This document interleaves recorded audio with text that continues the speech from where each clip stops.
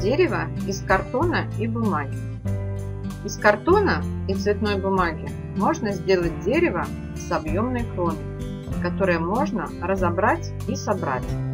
Нам понадобится картон, два листа бумаги, цветная бумага, ручка, линейка, клей, ножницы. Два листа формата А4 складываем вертикально пополам. Произвольно рисуем силуэт половинки дерева так, чтобы изгибы на листах находились на стволе дерева.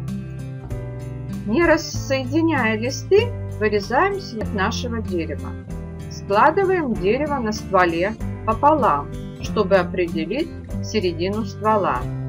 Разъединяем наши листы и на втором силуэте отмечаем такую же середину ствола.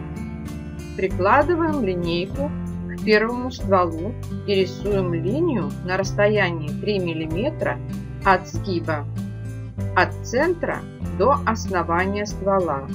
Вырезаем этот сегмент. На втором стволе делаем такую же линию, только от центра ствола до кроны. У нас получились две выкройки нашего дерева. Прикладываем выкройки к картону и вырезаем две детали дерева. Из цветной бумаги вырезаем листики и приклеиваем их к кроне.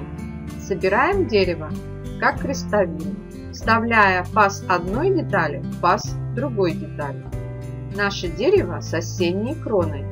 Можно сделать крону весеннюю, с цветами и зелеными листочками.